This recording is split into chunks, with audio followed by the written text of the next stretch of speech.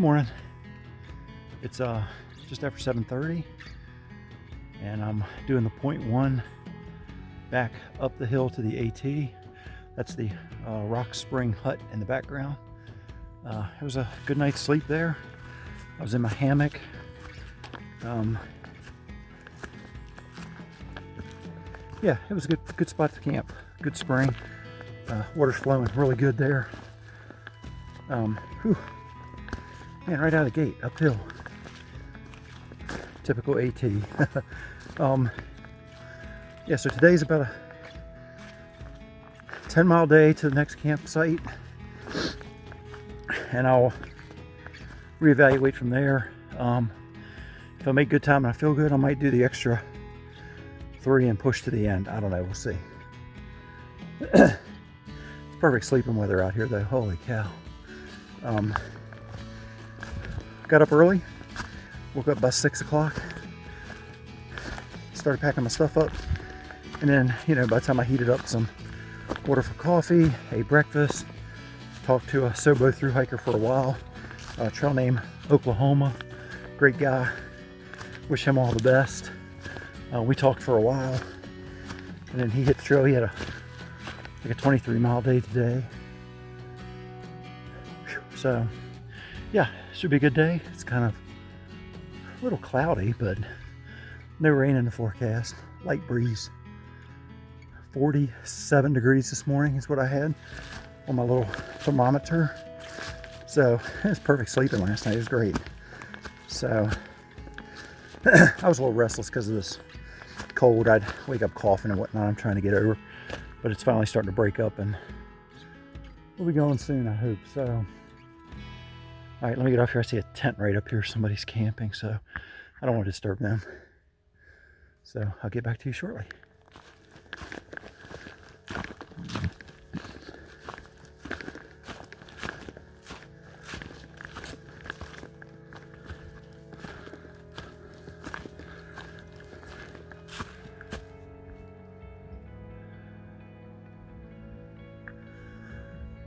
Back on trail heading northbound.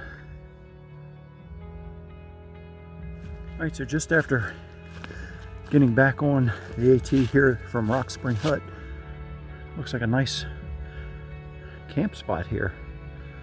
On the right, as you're going northbound. That's a great place to camp right there. Wow.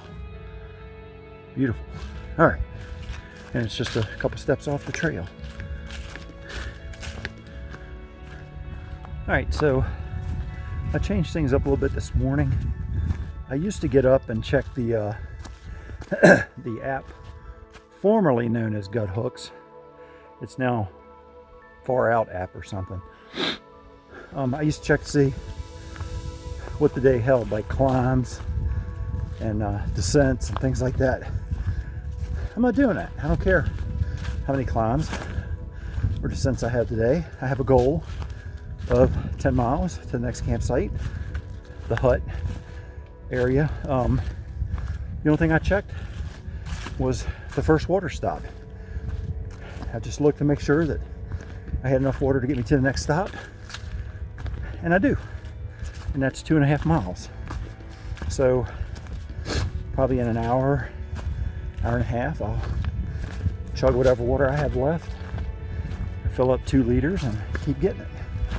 Um, water through the park is usually not a problem, at least in the central and northern district. Southern district, there are some stretches that are dry.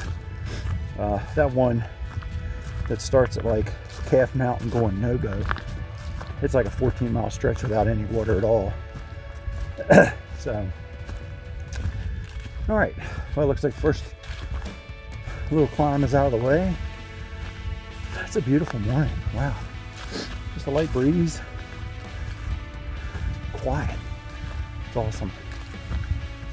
All right, so that was just a little mental game changer there that I, I did. I don't, I don't care how many climbs are ahead of me. I don't care how far up I am on a climb. I'm just gonna, you know, keep my head down, keep getting it. So, gotta slow down, take a break, slow down, take a break. Um, I'll tell you that book, Pushing North, by uh,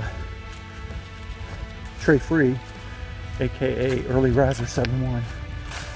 is a great book for hiking on how to overcome some of these mental challenges. And hiking is probably 20% physical, 80% mental for sure. Um, it's mostly a mental game. I mean, I'm old, fat, and had heart valve replacement. I'm out here hiking. Ain't nothing but a thing. It's better if you're in shape, that's for sure. It's more enjoyable. But a few days on trail, you start getting used to it and are able to tackle stuff. Um, where's that blue blaze? There's a blue blaze trail coming in from the right. I gotta make sure I stay on the AT. Don't want to get turned around and head backtrack. All right, stranger.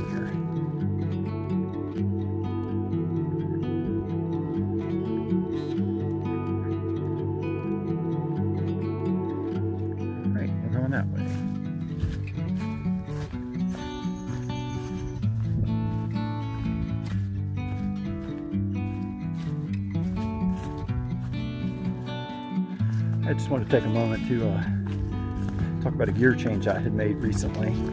Um, I had been watching uh, Chica and Sunsets um, Ice Age Trail hike, I think is what it was. And uh, they both wear a, uh, a long sleeve hooded, uh, like a sun shirt. It's moisture wicking, it's lightweight. I bought one. It's a Baleaf is the brand off of Amazon. Really good price. And it's super comfortable. It dries really quick. Um, like this is my hiking layer today. Um, I'm not wearing a layer under it. It's a little cool when I stop, um, but I have my puffy coat in my uh, pack and can dig that out if I need to. Um, but it's a super great um, hiking layer for like this time of the year it gets it's got the hood if it gets cool. Or if you're out exposed in the sun you know you got good sun control with long sleeves and the hood. Uh, keeps the bugs off if it's buggy.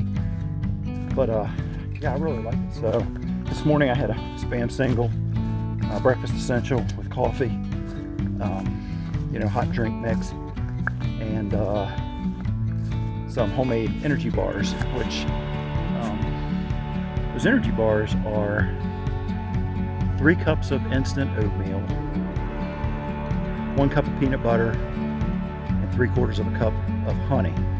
And then I also add chocolate chips into it. And you just, uh, you know, melt those first three ingredients together, uh, pour them into a, a, a, dish, a bake like a baking pan, uh, to let them set up and cool like a rectangle pan. And then I push uh, frozen chocolate chips in on top of it. Um, I freeze the chocolate chips first so they don't melt. Uh, and then you just cut them into, you know, size bar you want. And they're they're really good. They're flavorful. They're packed with energy. And uh, yeah, they go a long way. So, all right, I'm sorry, I'm rambling. I didn't need to talk so long. Let me get back to hiking. Looks like we're coming to a scree field, rock slide area.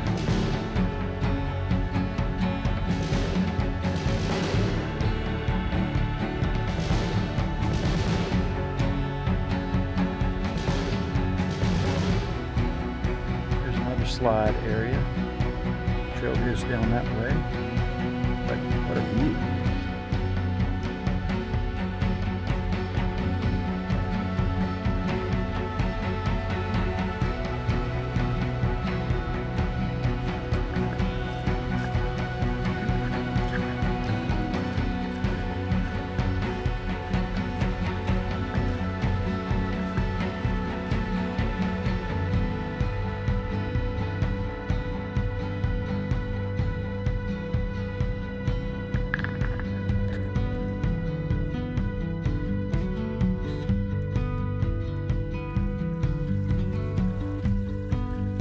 spring coming down the rocks there.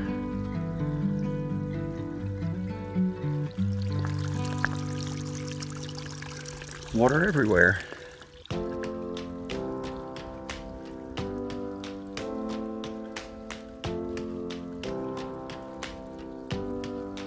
Hey, Mama. Hey, Mama. What you doing, girl? She didn't put her tail up. She don't care.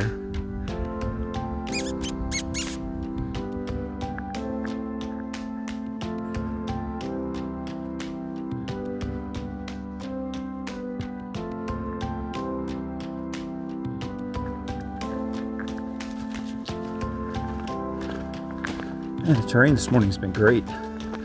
Just a few minor ups and downs, kind of undulating, I guess you would say. But it's uh, been super cruisy. Nice just to kind of step it out and make some time.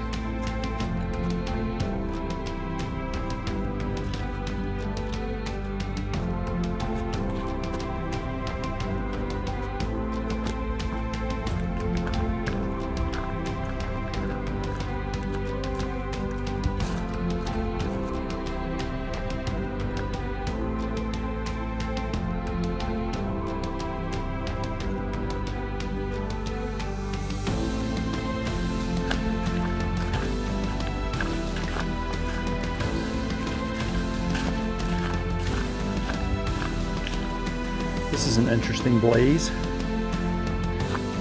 On a piece of bark, on a big rock. uh, wow. Look at that patch of uh, oranges and reds down there. It's amazing. It is so beautiful up here. Okay, so as I came up this hill, saw the rock outcropping behind me, and this turn, it seemed really familiar. And now I remember why it's familiar. I'm going to uh, tell a quick story about my youngest son. We came up here for a, a day hike a couple years ago. And, uh, oh, Dad, I failed to mention that the White Blazes are the Appalachian Trail. I thought, I assumed he knew it. I assumed he heard me talk about it enough, but I didn't tell him. So we were coming back. We had done Timber Hollow to Hawksbill, I think. And, uh, and back, we parked at Timber Hollow. Well, that's a, there's a concrete pillar there and a little grassy path that goes up to the parking lot. Well, he blew past that. I mean, he was ahead of us anyway.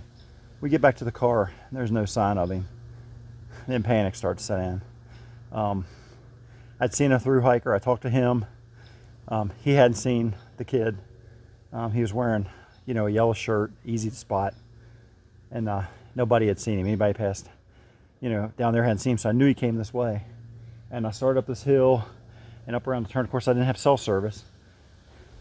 I got up around the next turn, and my phone rang, and uh, my wife had called and said that she knew where he was. He had called her, and I found him standing up there on top of the hill. So at first I was mad, but then I was grateful that he was okay and didn't get too far down the trail. But um, you know, panic sets in. You drop your pack, you grab a bottle of water, and you start humping it because you got to catch up with your kid. It was a scary couple moments there, but we caught up with him, and all was right with the world. And now he knows that white blazes on the East Coast are the Appalachian Trail. So don't take things for granted. Don't assume people know things. All right, let me get back to hiking. Why? Why do that? Must be at Skyland Resort. Got horses in the uh, stables there that you can rent and do horseback rides, I guess. Pretty cool. Skyland is actually the highest point on the Skyline Drive, I believe. Hawksbill Peak's the highest peak in the park. Skyland's the highest point on the drive. Okay, so we're road walking. There's an AT detour back there, and the trail's closed. I think it's been closed for like a year or two. They say it's while they reroute some water lines or something, so I don't know. We're road walking now.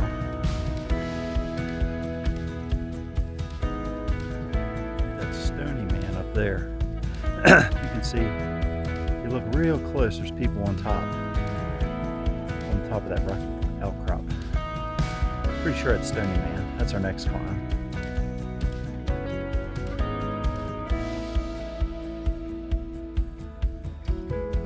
Oh man, they're using an old copper kettle as a fire pit.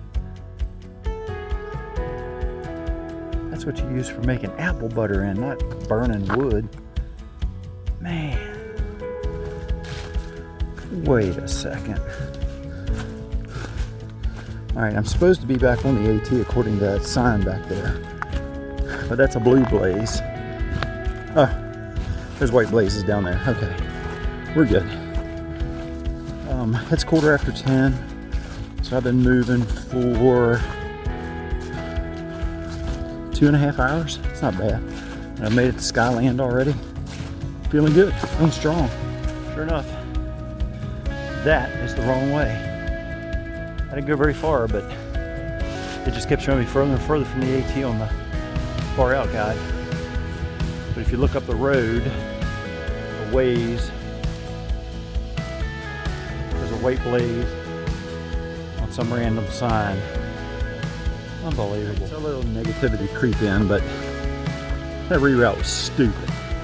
That added probably, that feels like three quarters of a mile, maybe more. Uphill, downhill, back uphill. Road walking, not well marked. Dumb. Time for some fruit snacks and some water. I'm sitting on a rock.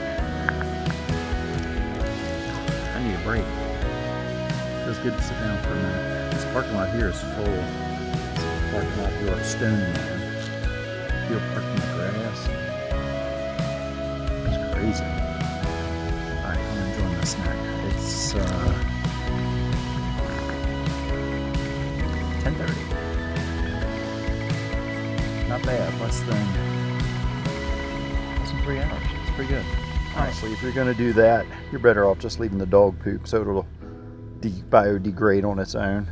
Now it's in plastic and nobody's going to take care of that. That's disgusting and idiotic.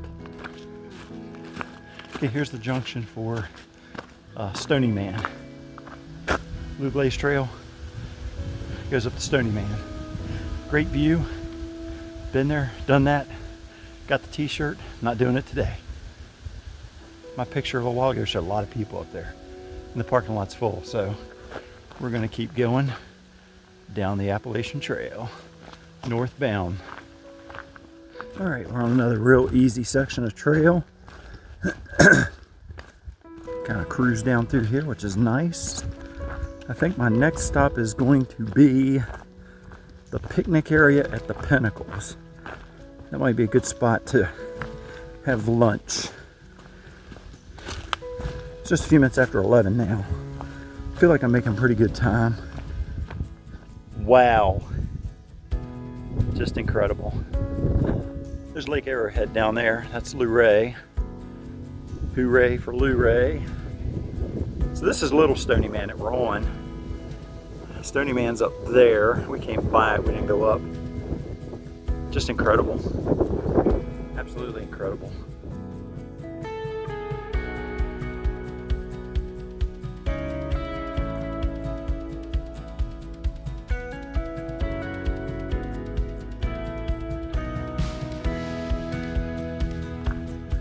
Another cruisy part of the trail. Skyline Drive is just uphill to my right.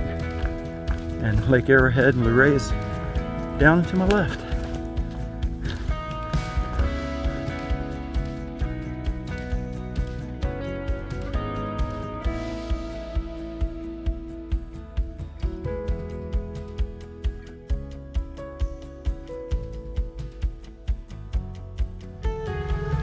Current situation. The water is off. All right, well, I hope this isn't an epically bad decision, but I'm out of water and the water at Pinnacle is turned off. Next water supply is two and a half miles. Thank God it's not hot, but we're going. Let's see what happens. I just chugged my last half liter and then found out the water's turned off. That's bad. All right, we'll make it. We have to.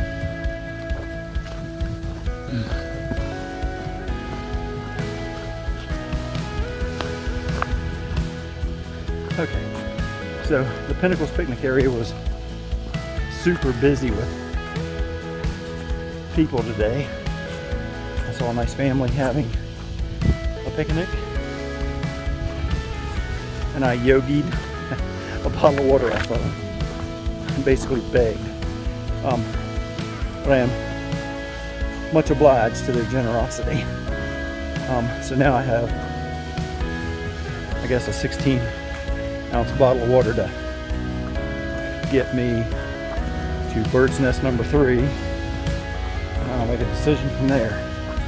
Um, from there, it's 3.2 out. I think it'll be too early for me to camp. I might just head home. So, been a good day so far. I was looking forward to stopping back there and cooking lunch, but that ain't happening. So, keep pushing.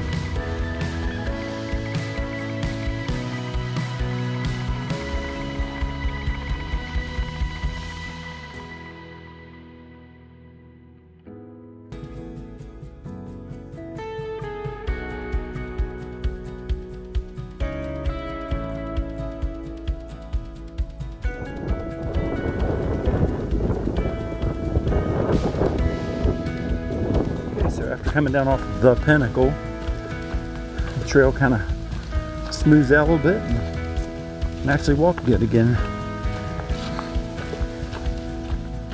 Okay, so it's 2.20 and I just arrived at the Byrd's Nest Hut. I'm gonna stop and eat my lunch and then push on to Thornton Gap. So 3.2 more. 2.20 in the afternoon, pretty good. All right, 3.05, back on trail figure hour, hour and a half, probably an hour and a half. Put me down at the uh, parking lot. So, but there's just droves of people coming up apparently. So it'll take a while to get through all that mess. Here's siren. Interesting. All right. I'm not stopping at Mary's Rock. Been there, done that, got that t-shirt. I've seen that view and the hordes of people that hang out there. So I'm gonna pass that by. I'm on a mission to get to the parking lot and work my way home.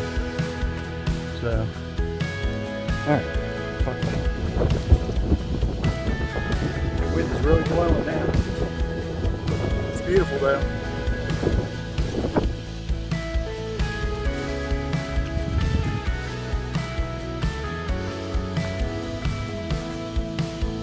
Think I've got about another 15 minutes and I'll be off this thing.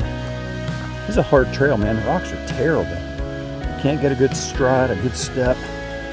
I'm always stepping on sharp rocks. And, but we're getting there. I think I'll, I think I got about 15 minutes left. And that'll be an hour and a half from the hut down. So a couple of younger girls had backpacked up to camp there and said it took them two hours to get up. So I think a hour and a half to get down is not bad. Just can't get good footing on this trail. So almost back. All right, that's it. Another long section done. Well, not long section, but another 23 or so miles done. All right, so that's a wrap uh, 14 mile day to uh, from Rock Spring Hut to Thornton Gap. I am sitting here at the McDonald's at Luray to pick up something to eat. I'm hungry. And then I'm heading home and we'll probably use my roller and roll out my muscles in my legs. They're sore. They hurt. That's 14 miles. I haven't hiked that distance in a while. I mean, considering I haven't even hiked at all since April or May. That's crazy. I did well, I think. So, um, once again, thanks for watching. Um, I have probably one more weekend, maybe maybe one long weekend's worth of hiking to finish out the park. Um, Head south toward General Drive. Um, you'll be able to see that. So uh, that'll be coming up hopefully not too long before the weather gets terribly cold. So, all right. Well, I hope you all have a great day and uh, appreciate you watching. Again, hit that subscribe button uh, for more content and hit that like, that thumbs up because that helps the algorithm and other people um, you know, to see that video. So, all right, well, I'm whooped. I'm gonna whip in here and get me a hamburger and some fries. And I will talk to y'all again soon. Thanks again for watching. Take care.